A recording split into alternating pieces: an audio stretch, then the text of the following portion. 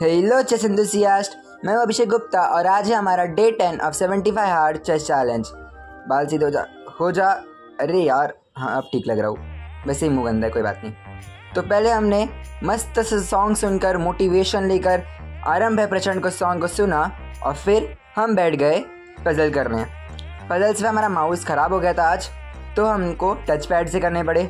Touch pad से risk रहता है कि पीसेस का मिसक्लिक ना हो जाए बट देन टू हमने पजल्स किए।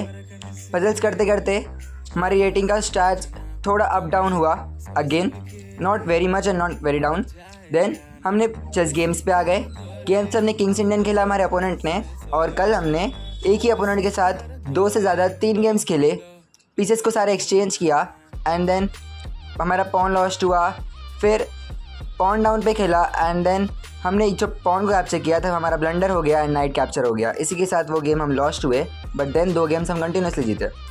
हमने कर ली चेस की बुक कौन सी book Jeremy Silman's again the best book for end game preparation उसका हमने किंग एंड रुक का एंड गेम जो बचा था हमारा, उसे कंप्लीट किया।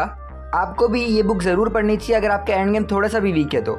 फिर हमने बॉबी विशर का माई सिक्सटी मेमोरेबल गेम्स में से एक गेम को स्टडी किया, जो कि गेम वर्सेस था पॉल के।